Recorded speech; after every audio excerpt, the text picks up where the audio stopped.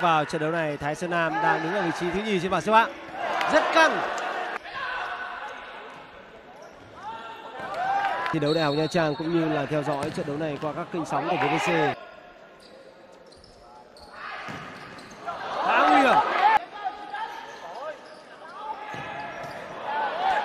một tình huống dứt điểm của Thái Sơn Nam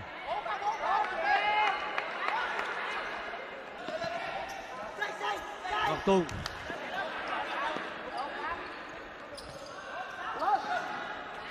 Đường chuyên.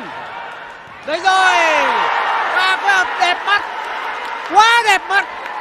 Bàn thắng được ghi cho cao thủ Cadia trên Sài Gòn FC chúng ta cùng chứng kiến lại. Hoàng Nam phát động tấn công, truyền bóng cho Ngọc Tùng.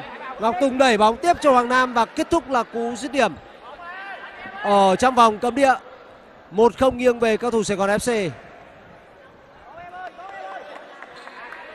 Đây chính là điều mà người ta mong chờ. Mùa giải năm ngoái là mùa giải mà huấn luyện viên Nguyễn Bảo Quân thường sử dụng bộ đôi ala là Thất Phì và Quốc Nam.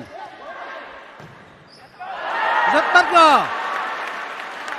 Cú sút căng và bất ngờ. Phía KDA trên Sài Gòn đã không có sự tập trung cần thiết. Châu Đoàn Phát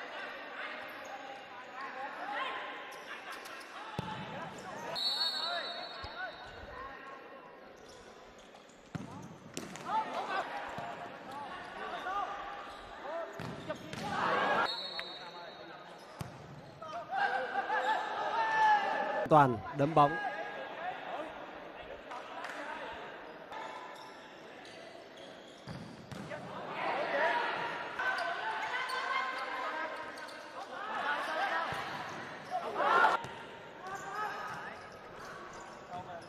Hoàng Nam dứt điểm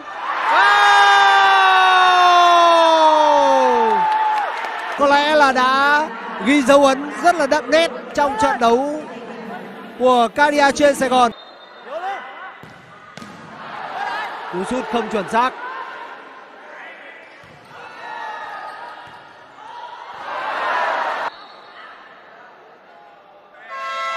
Và như vậy là các cầu thủ Cadia trên Sài Gòn đã giành chiến thắng với tỷ số 2-1. Trong khi đó thì các cầu thủ Cadia trên Sài Gòn với chiến thắng này, họ sẽ vươn lên trong top 5 đội đầu bảng. Xin được chúc mừng đoàn quân của huấn luyện viên Nguyễn Bảo Trung cùng với đội trưởng Phạm Triều Hoàng Nam đã có một màn trình diễn xuất sắc.